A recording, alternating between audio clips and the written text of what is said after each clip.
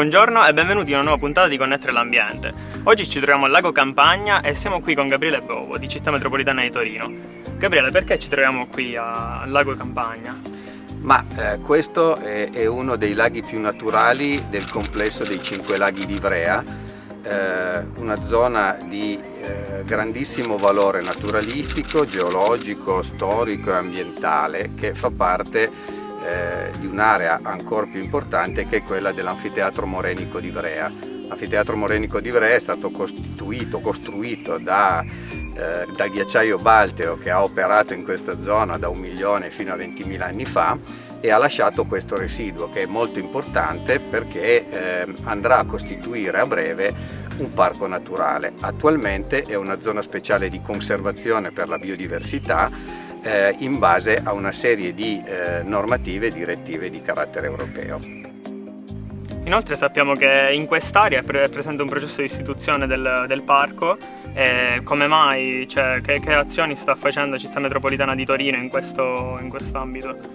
Ma allora, proprio per la grande importanza ambientale e naturalistica di quest'area si è deciso eh, sei anni fa insieme ai cinque comuni eh, che fanno parte del futuro parco di chiedere alla Regione Piemonte attraverso la realizzazione di un dossier di candidatura l'istituzione a parco naturale di quest'area che verrà gestita da Città Metropolitana di Torino come gli altri otto parchi attualmente esistenti.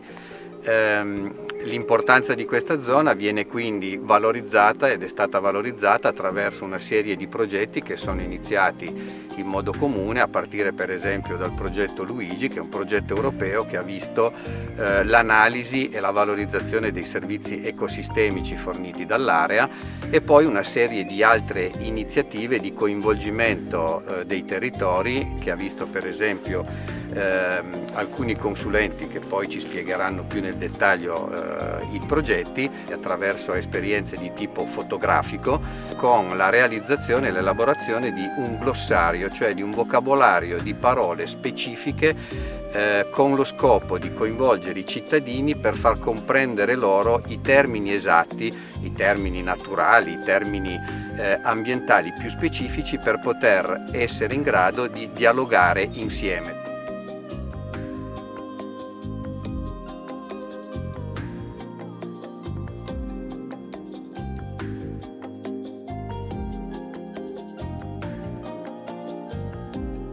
Abbiamo parlato con Gabriele Bovo di un glossario, eh, a parlarcene oggi qui c'è Viviana di Paesaggi Sensibili. Ciao Viviana. Ciao. Di cosa, di cosa tratta il glossario? Ce ne puoi parlare più nello specifico? Certo, volentieri. Il glossario è stato concepito come uno strumento fondamentalmente per decifrare la complessità di questo sito, eh, partendo però proprio dal riconoscimento di quelli che sono i valori naturalistici eh, in, in quest'area contenuti, quindi eh, insiti di questo luogo, e anche però il quadro normativo che oggi già li tutela. Mm, è stato un processo piuttosto lungo e complesso, nel senso che eh, è stato un processo di ascolto del territorio, abbiamo avuto la possibilità di incontrare eh, attori e realtà locali, eh, biologi, ecologi, eh, geologi, quindi esperti tematici e eh, tecnici ehm, di settore. Il glossario in qualche modo ci ha permesso di mettere a sistema tutte queste competenze e conoscenze che ci sono già su questo territorio ma che non sono ancora come dire, eh, diffuse e condivise ehm, con la collettività. Come siete riusciti a creare, a strutturare questo glossario? Sono 40 voci e ovviamente sono in ordine alfabetico, però le abbiamo anche in qualche modo organizzate raggruppate in quattro categorie tematiche. Quindi la prima categoria riguarda i sistemi e i processi naturali, quindi abbiamo le voci come acque, aree umide, boschi, ecologia, sostenibilità.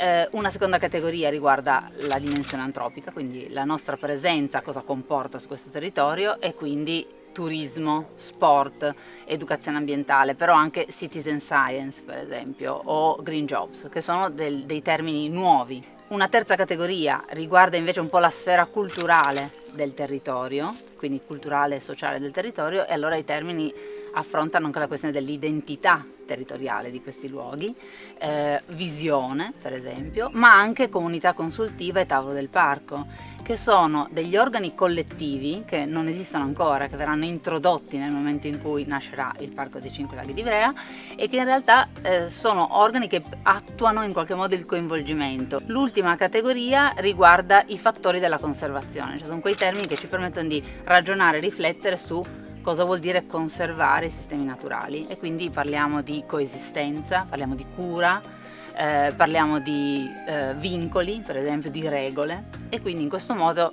tutte insieme queste parole eh, danno voce a quelli che sono i temi, gli argomenti che andranno acquisiti all'interno degli strumenti di gestione del parco. Diventeranno uno strumento di dibattito, uno strumento che andrà a stimolare un confronto col territorio perché, come dire, la, la creazione, la nascita di quest'area protetta che sarà il Parco dei Cinque Laghi sia in realtà una scelta consapevole e condivisa col territorio.